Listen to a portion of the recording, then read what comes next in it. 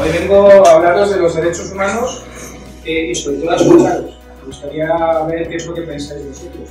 El proyecto Pasando a la Acción en Redarte plantea un trabajo transversal que empieza desde las artes, desarrollando los artistas de la Fundación Yehudi Menuhin y que nos permite, desde la creación, sentir e interiorizar los contenidos gracias a un trabajo en valores a nivel emocional.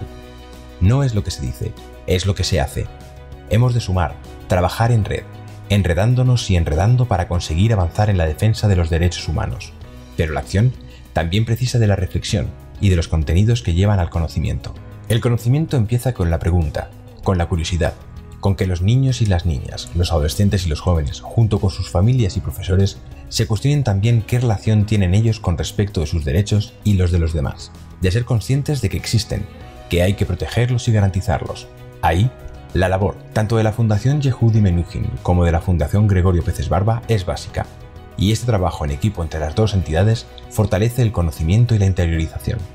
Porque el fin último es la participación activa y la corresponsabilidad como ciudadanos implicados, el poder dar un paso adelante en aras de garantizar esos derechos, de saber que en gran medida los derechos y su protección van a depender de ellos hoy y en el futuro, y que todos podemos contribuir a su defensa siendo responsables de una democracia que requiere ciudadanos críticos.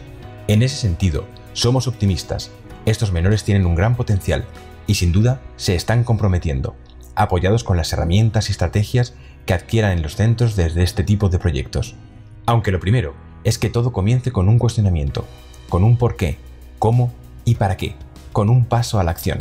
Eso es algo que los casi 7.000 alumnos que han participado de los más de 30 centros educativos de primaria y secundaria de Fuenlabrada han demostrado con creces.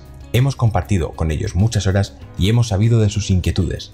Así pues, hay futuro y hay mucho trabajo realizado, pero también mucho por hacer y compartir en la defensa de los derechos fundamentales para todos y todas. Volviendo al tema de, las personas discapacitadas con síndrome de Down. Se supone que la Constitución, los derechos humanos, eh, son inherentes a todos los humanos. Y si, como un poquito tiempo, eh, han, ha hecho, han hecho que eh, puedan votar, a esas personas no se les trataría como inferiores a los humanos. ¿Tú crees? sí.